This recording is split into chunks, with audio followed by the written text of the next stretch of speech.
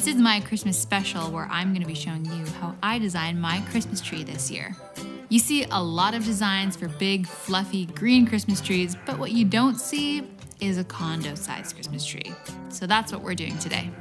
We have a great view of downtown, so the Christmas tree that I got is the one from Restoration Hardware.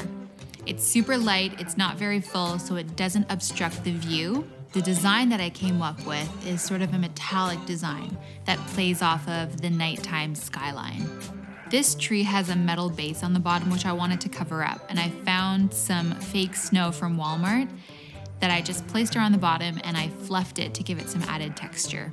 The first thing to do if you have a skinny tree like mine is add texture and depth. I did this by adding in some sparkly branches that I found from West Elm.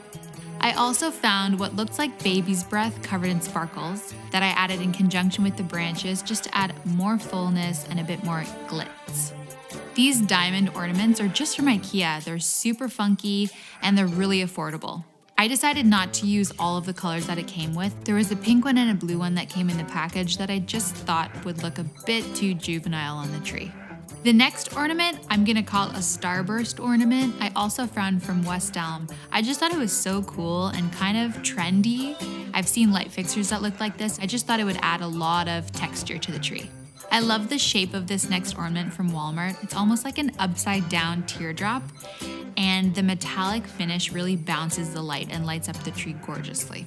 This next ornament I'm just gonna call the beaded ornament because it's covered in beads. I couldn't resist picking these up. They're just beautiful and I thought they'd be a nice addition to the tree. The next ornament I have are these copper balls. Copper's really big right now. I love copper. I just had to throw candy canes in there. I've been putting candy canes on my Christmas tree since I was a little kid. And I just could not not do it, you know? To switch it up and just make it a bit more fun, I taped them at the bottom and the top and made them into hearts. The next DIY ornament are these word ornaments.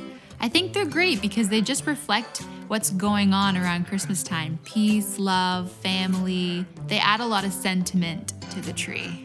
These are made just from wire I found at Home Depot.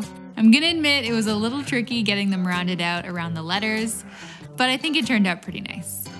It's important not to forget about what's going on below the tree, besides presents. This nutcracker fits the bill for me. He's really fun and guards the presents. Lastly, the star of the show. What's a tree without a topper? This one's great. It's from Walmart and it fit on my tree perfectly. And this is the part of the episode where we cue the epic montage.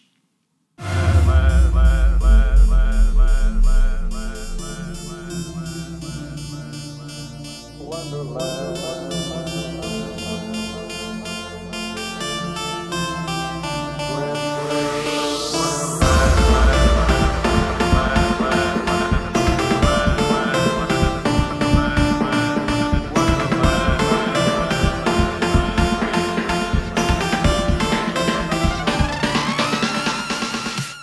That's it. I hope you found something useful for your Christmas decorating. Please give it a thumbs up if you liked it. It really helps me out. Please subscribe if you haven't already. You can follow me on Instagram at Ashley Freeman Design. And if you're interested in any of the ornaments that I used, I'll have a list of where I got all of them on my website, which will be listed below. Merry Christmas!